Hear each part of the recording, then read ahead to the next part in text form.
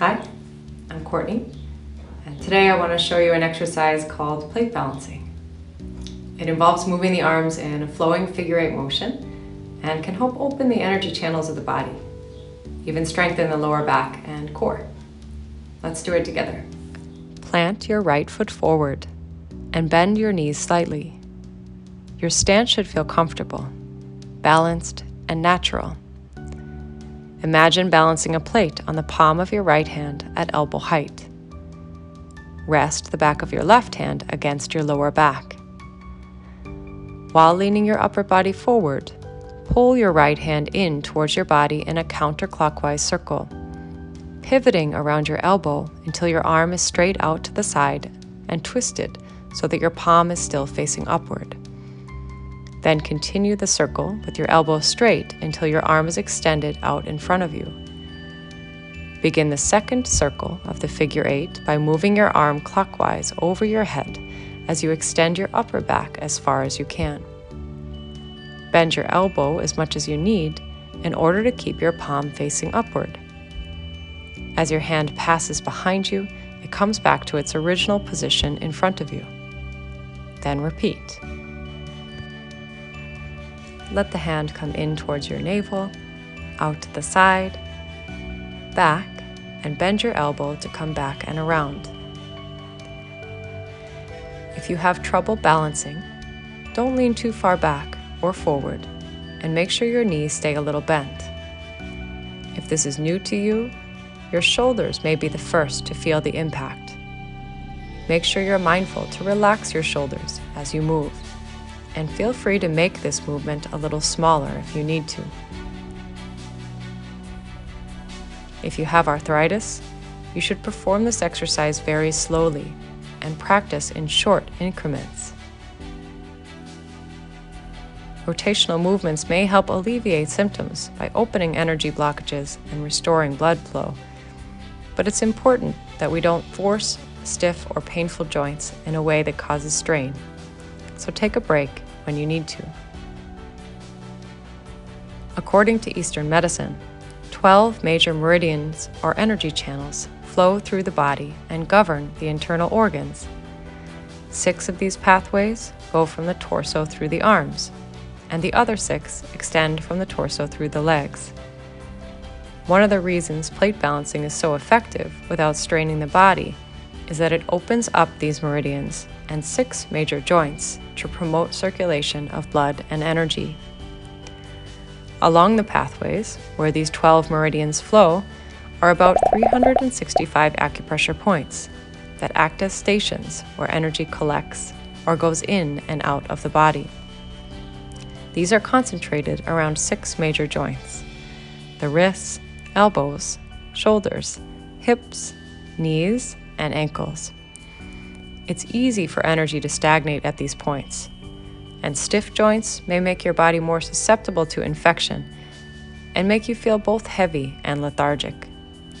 Repeatedly rotating and moving the joints for plate balancing is wonderfully effective at forcing out the congested energy, helping to loosen the joints and the surrounding muscles. Not only do the circular arm motions of plate balancing stimulate the meridians through the arms, but the repetitive bending of the knees and rotation of the waist stimulate the meridians of the legs, promoting blood and energy circulation throughout the body. Let's try the other side. Bring your left foot forward and left palm up, resting the back of your right hand on your lower back. While leaning your upper body forward, pull your right hand in towards your body, pivoting under the elbow until your arm is straight out to the side. Then continue the circle until your arm is extended out in front of you. Bend your elbow and move your arm clockwise over your head as you extend your upper back as far as you can. Remember to bend your elbow as much as you need in order to keep your palm facing upward and to not strain your shoulder. As your hand passes behind you, it comes back to its original position in front of you. Repetition of this simple arm movement can help release tension from the shoulders and arms. But it's even more effective if you know how to feel energy. Sometimes called ki, energy refers to the life force within everything. and can be felt through subtle sensations and vibrations, and amplified through visualization. Slowly keep flowing through the figure eight motion, being careful not to scatter or disperse the weighted feeling of energy on your palm. Here is a way you can practice. Focus your mind on your upward facing palm and imagine that a heavy pillar of energy is coming down towards your hand. Imagine that energy coming in through your palm flows along your arm, through your elbow, shoulder, and torso, and is connected through your leg all the way down to the bottom of your foot, forming an energy line on that side of your body. As you relax, the motion may take on its own tempo and become more dynamic. The circle over your head may naturally slow and your arm may come down more quickly.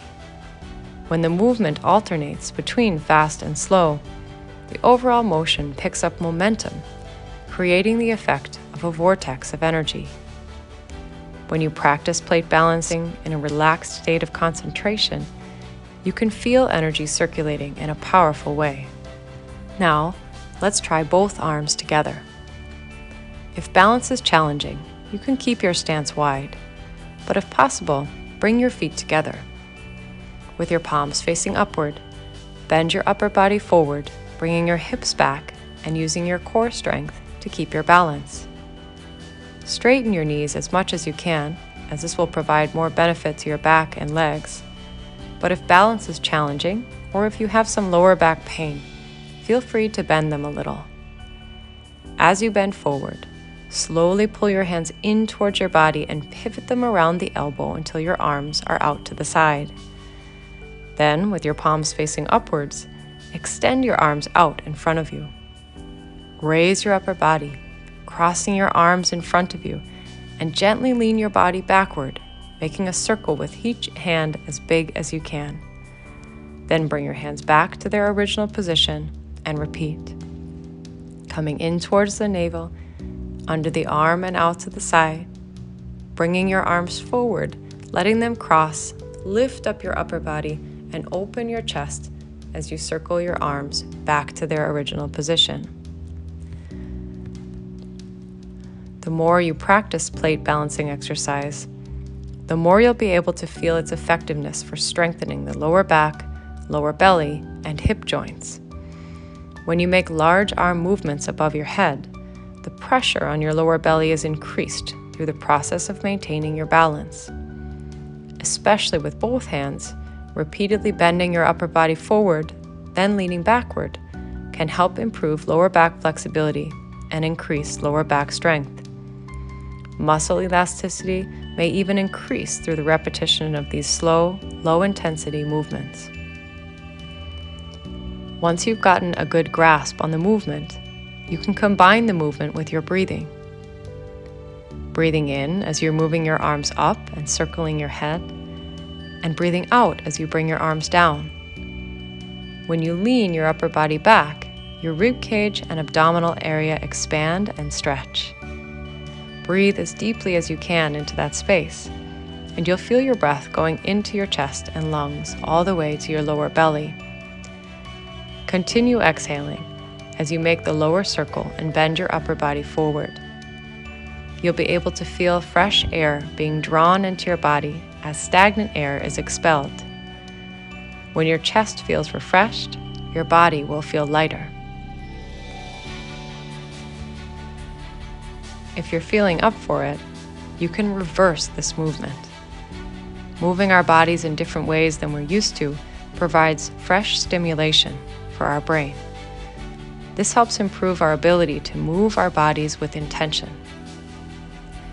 If this exercise is new to you, I recommend starting with a set of 10 on each arm and 10 with both arms. Take your physical condition into consideration before doing more and add just one set at a time. Doing too many at the start could overexert your shoulders. But as your flexibility improves, you can do up to 30 or even 50 repetitions each side. But stick to a number that doesn't overextend your body in the beginning. I hope you enjoyed doing plate balancing exercise with me today. And stay tuned to Body and Brain TV.